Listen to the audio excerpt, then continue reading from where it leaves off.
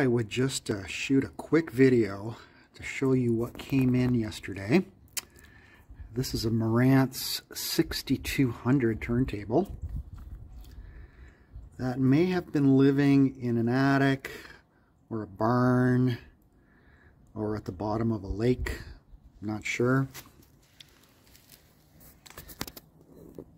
Um, these controls don't turn anymore. Speed selector does though. As you can see here, it's uh, it's a bit dirty.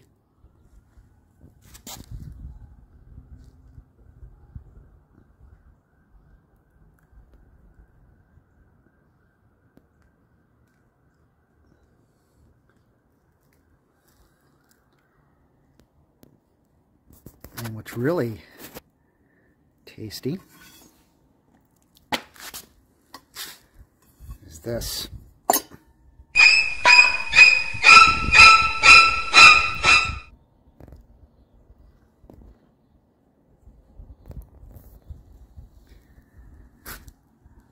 So what do you charge to service something like this?